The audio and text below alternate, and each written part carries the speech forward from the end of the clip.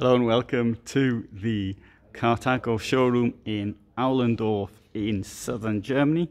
This is a Malibu camper van, 600 DB, and the starting price is around 50,000 euros. Of course, 50,000 euros doesn't include any extras, so by the time you've had a few extras such as delivery added on, it will be considerably more. As far as camper vans go, this is a rather standard basic layout. You've got this rather large bed at the back. Under it you've got slats and under here this will go up and down depending on your requirements. Where Carthago does stand out is this.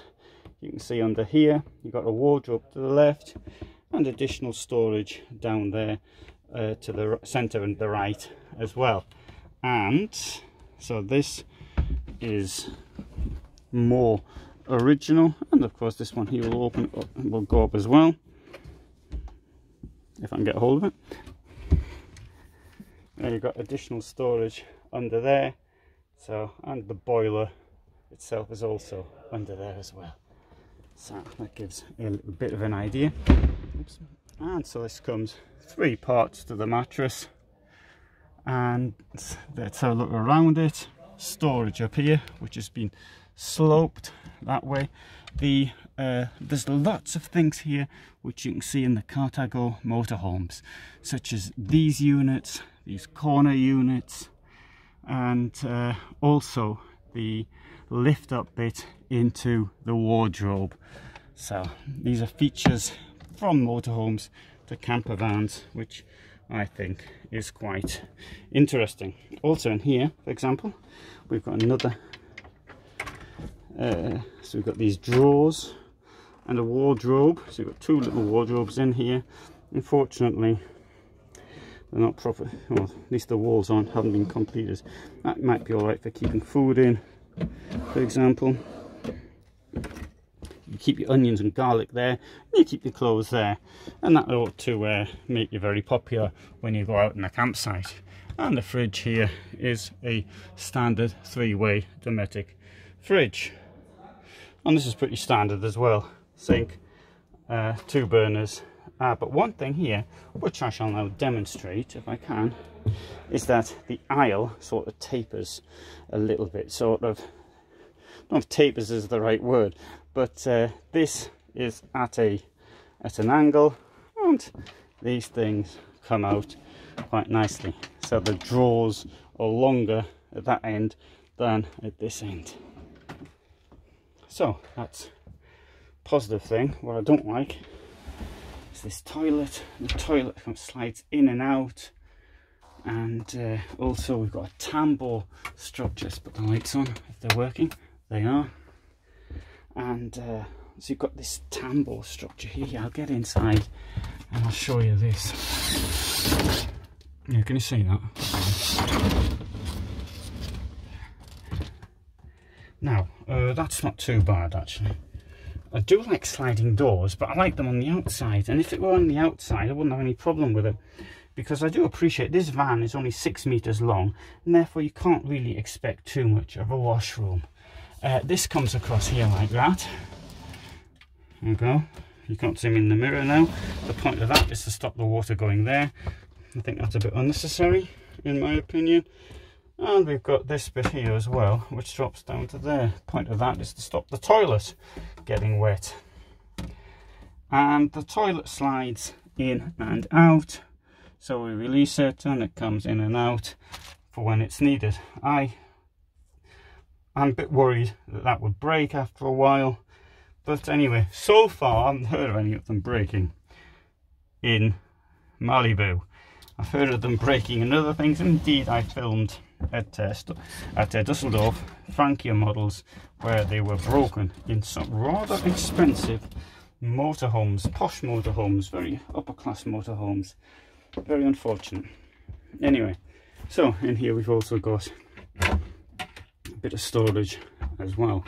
Unfortunately, they, all the vans here have this uh, toilet in the wet room in them. Right, coming up here to the front, quite standard. You've got the the table, which isn't bad at all for a vehicle, uh, which is six meters, and forward-facing bench, and here are comfortable chairs. This vehicle's on a six uh, gear auto uh, manual uh, gearbox. Oh, and they've got a television up there as well. Extension to the kitchen, indirect lighting, so it's got lots of, lots of things which are quite nice. Up here as well, very nice finish in my opinion, which looks rather, doesn't look camper vanish at all. And you've got a little bit of storage up there. In fact, you've got far more storage than you normally get in the bulwark of a van. The price for that, of course, is, your, is headroom. There, you can see it's got a Truma heating and it's uh, there you've got your you can see your 12 volt you can see which water you've got what your electricity state is state your batteries etc right and of course as you'd also expect fly net there let's go and have a look at another one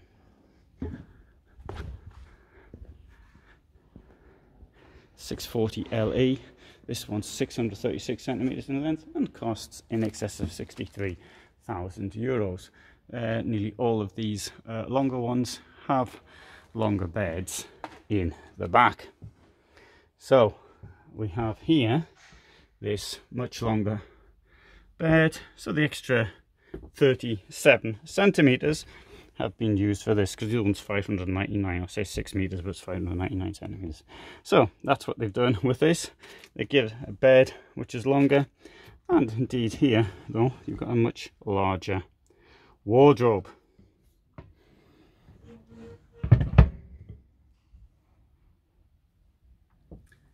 Same toilet in here.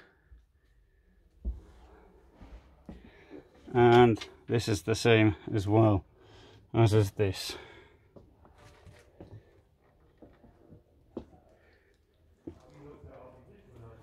Oh, I didn't show this earlier.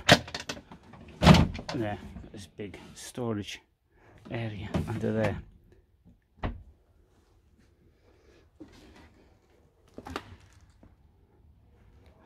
Here we have what they've called a coupe.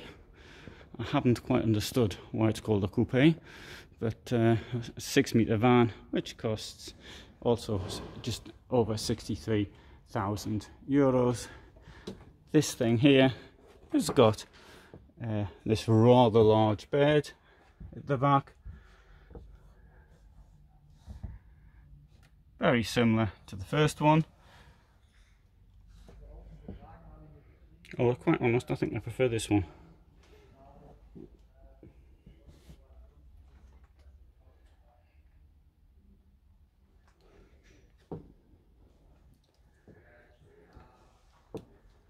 This was brought out in 2019. At the time, I looked it up.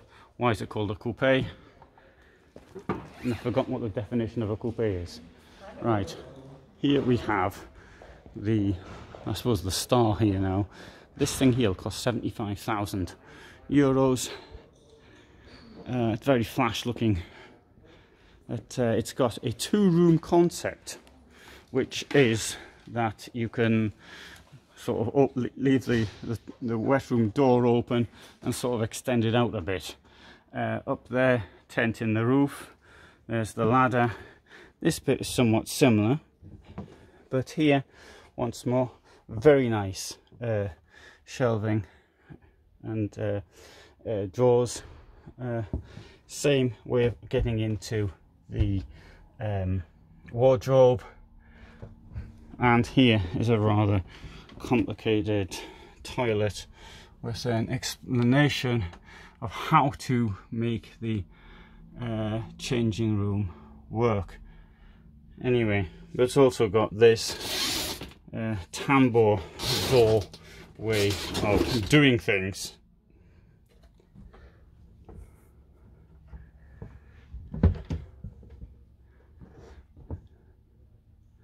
But you can see that in more detail in another video. Right, social now go back to the one I started off with. Show the rear. On the left we have the gas cupboard. And we've got a stack of storage here should that be needed. You can of course put these things up. And this will go up as well. Very light that one. And as I said earlier there's the boiler. So you've got quite a lot of storage in there lashing straps as well. So that's uh, this vehicle.